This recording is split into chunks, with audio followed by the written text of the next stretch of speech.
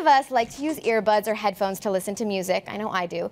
But now we're learning that listening at a loud volume is actually causing early hearing loss for kids as young as middle school age. So I talked with a top hearing specialist, Dr. Ronna Fisher, to find out how to help prevent it all.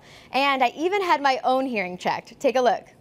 So we associate hearing loss with senior citizens, but the research tells us otherwise now.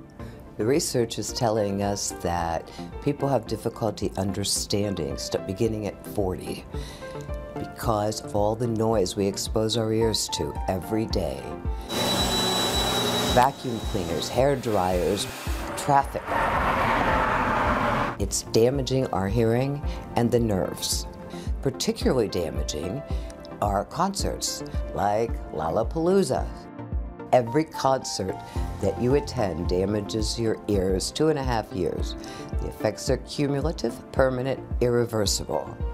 The sale of earbuds and headphones for a listening experience are off the chart. You're blasting your eardrums with sound. It's all about the loudness. So it's, it's not about putting an earbud in your ear, it's about the level that you're listening.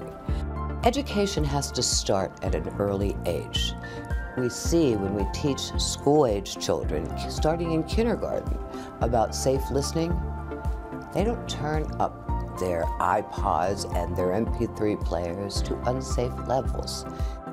We need to add yearly hearing screenings. Everybody should have a baseline so that we can monitor and see, is it changing? So you're going to hear five or six sentences. Each one's going to get noisier and noisier. Just say whatever you hear.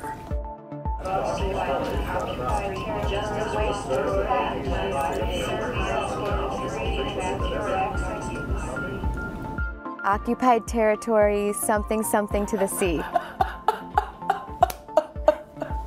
the weight of the package seen on the high scale. No way. that is scary. Your processing is good.